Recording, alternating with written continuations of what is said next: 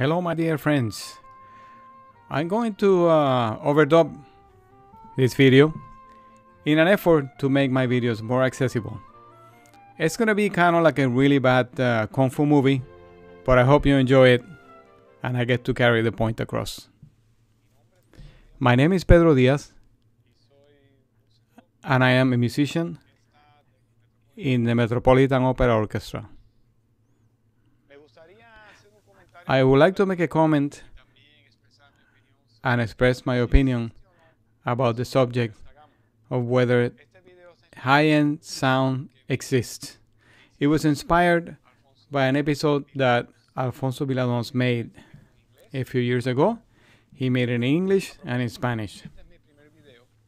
Of course, this is my very first video in this channel where I want to talk about audiophile subjects. And you could be the first subscriber of this channel. The biggest argument is that Alfonso says that there's noise, first with the records and the surface noise, the scratches, and all that stuff that comes with the process of reproducing um, mechanical waves that are transmitted by a small nail in an analog manner to the reciprocate, which is the speaker, the coil. I have to decide how you say it, all these colloquialisms and Spanish. There's so many words. So he gave it the name a log to the analog format. And then he talks about the uh, compact disc and digital and jitter and he talks about the digital noise and he calls it digitor which I think is funny also. He says that digital sound is not natural and he ends up saying that digital does not transmit the emotion in music and if there's bad sounds you can never enjoy music and it's all a fallacy it's a ruse and I'd like to tell you, Don Alfonso, that I agree pretty much everything that you say. However,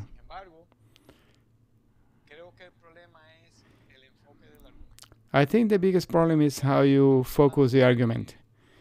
For example, if you're talking about music that has been recorded acoustically, chamber music, jazz, no electronic mediums, uh, symphonic music, orchestra, opera, or big choruses in church.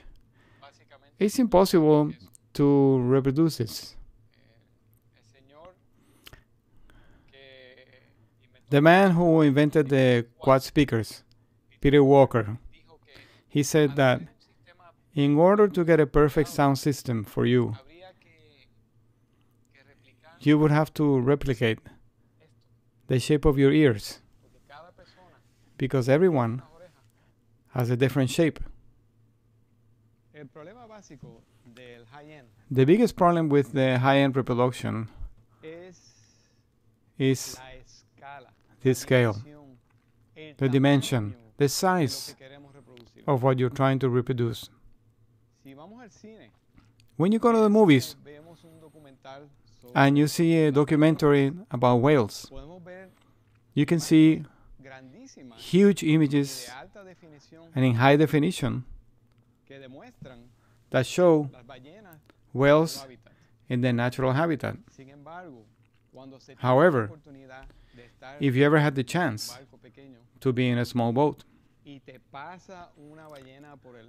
and a whale comes by your side, that can never be reproduced. It's a different experience. Emotionally, it's way, way too strong. But the focus of my argument is not that one. I don't think any manufacturer, any bona fide of audio fide está tratando is trying to reproduce or replace the original experience. What we want is a reasonable facsimile where at least we can get close in the best possible way with technology and get perhaps a un 75. maybe 75% of the experience. So once we accept that it is impossible to reproduce a real event of the acoustical character, then we start seeing things differently. For example, one of the greatest things about collecting music and why we listen to music is because we like to hear music, concerts, and songs from musicians and composers that have already died. This is one of my favorite recordings of the Paganini Concerto Number Zino Francescatti. for violin with Zino Francescatti. This record is recorded mono. Eh, no puedes reproducir Of course, You cannot reproduce the experience, que uno siente cuando- surround sound, or Sin embargo, que multi-access cuando se that you get in a real hall.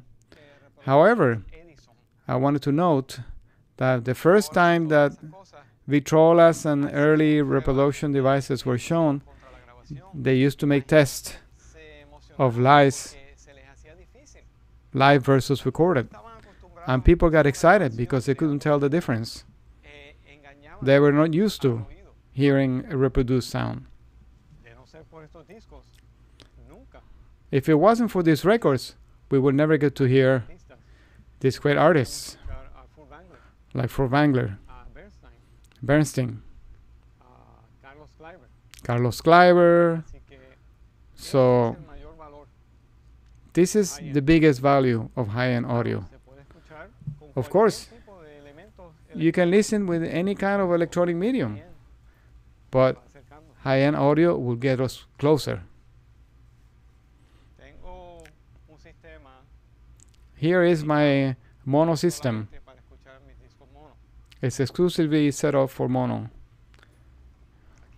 Clips. Here you can see my Klipsch La Scala It's, uh, connected to a mono amp, and I use also a mono cartridge. I can sit for hours and listen to hor- recordings of Rubinstein, Horowitz, Piatigorsky, or or Harry Belafonte or the Beatles in mono. And I'm telling you that I do get excited and I can feel the emotion carried through the interpreter. It doesn't matter the recording quality, the message comes across. Listen to this.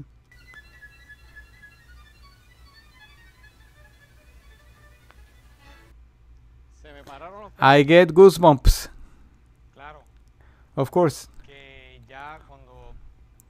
once you use a stereo format and you start upgrading on the quality of the equipment and wasting more and more money because this is a bottomless pit. You start appreciating more three dimensionality, the stage, sound stage. Is that a word I can say in Spanish? Scenography? Oh, scenery, soundstage. I have to see other channels of my Spanish colleagues who know all the uh, transliterations and anglicisms. It is possible. It is possible to get excited and feel emotion, even though you know it's a facsimile. And your brain knows. When you're listening to reproduced music, it sounds like reproduced music, obviously. You know it. But of course, There are moments when the equipment can fool you, it can surprise you. Many composers and musicians and conductors, don't really care about the quality of the sound. but the mission of the interpretation that you carry in your brain and your heart. And of course, you see the pictures in all records where Rubinstein, or Heifetz are sitting at the mixer next to the producer and the engineer, but in reality, they were just focusing on technical details about the performance, the message,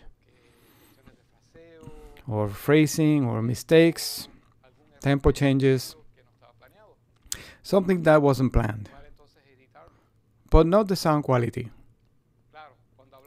Of course, but when you talk about electronic media, like uh, a Pink Floyd record or a Beatles record. They say that the Sgt. Pepper record was recorded on Abbey Road in the other side of the hallway when Pink Floyd recorded. Piper at the Gates of Dawn. And I think that if Roger Waters was in your house or my house and I was using similar equipment to what he used in the studio. I don't think that he would care about the sound quality, whether he felt goosebumps or or he felt any emotion or he would be focusing his brain would be thinking about how it is a recreation of the studio recording algo en un estudio con equipos electrónicos, with electronic equipment. But sí es posible hacer muy buenas grabaciones it is possible en el formato digital to make great recordings in digital also. y hay que reproducirla. And they need to be reproduced in the digital format. Otro argumento para el tema del ruido, ya sea Another argument with the noise issues. I remember when I was studying at Juilliard and we would go to the concerts, live concerts in the recital hall. And there was always some old lady or some old man. There was this old lady who was famous because, or notorious, because she would show up to recitals and right in the middle, she would start opening bags with candy and bread and other things.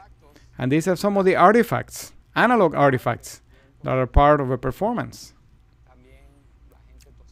Also, people coughing.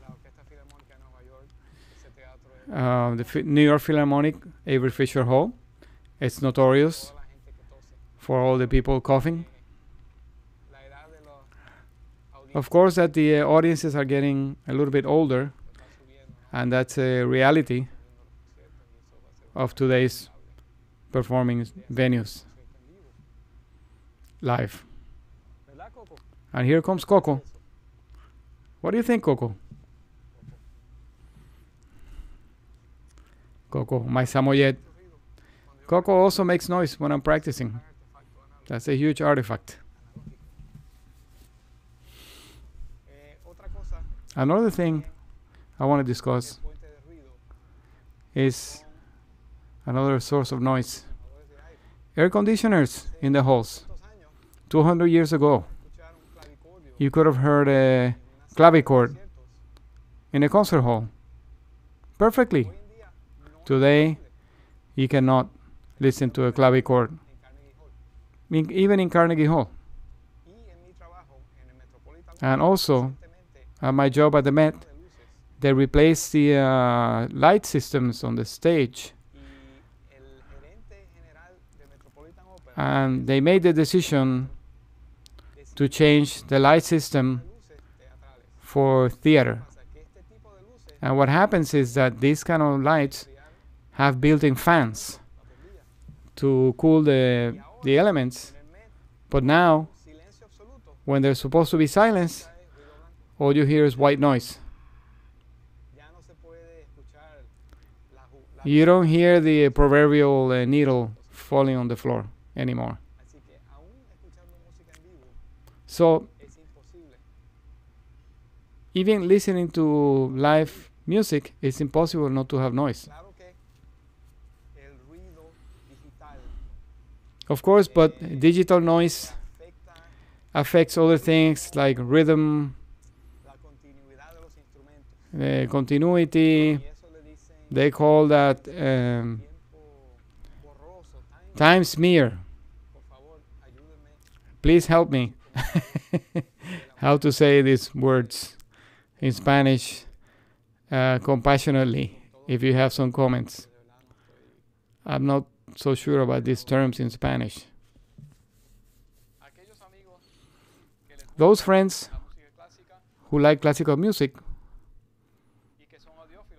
and who are also audiophiles, in addition to having a nice system, they go to live concerts. Not just because it's going to sound more real, but also because we have to get out of the cave. We're in the cave all the time.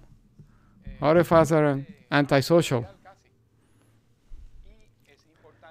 And it's also important to support musical institutions, to support the arts in the city that you live. Very important. Support your musicians. Anyway, to sum it up, audio, high end audio, uh, it's true. It doesn't really exist. But at the same time, we can listen to these historical documents and great musicians, great conductors, great singers. We can also see it like in the beginning of the video. I love to go to the movies. I can see an IMAX movie. I like to see documentaries, or. Africa or Everest. You can see somebody climb the Everest, but I don't want to do that. I also don't want to be in the jungle when a, a lion is eating a gazelle. But-. High definition video will allow us to live that experience, and the higher the quality, the more emotion we can feel. Same thing if you're watching a scary movie. And some effects are so incredible that you are moved, not in the way you want to, but you can be fooled by electronic media, even if it's just a little while. The ear is a very sophisticated device. At the same time, the palate. We cannot eat caviar and lobster every day. Doesn't matter how good it is. And that's why we suffer from this sickness, the audiophilia nervosa, because we get tired of the same equipment. I remember hearing audiophiles when they describe a system they really like. They say, it doesn't bother me. They don't say things like about dynamic range or color or timbre. They just say, it doesn't bother me. And that is one of the best indicators that you have a natural reproduction in your system. Thank you very much. And remember, you could be the first subscriber.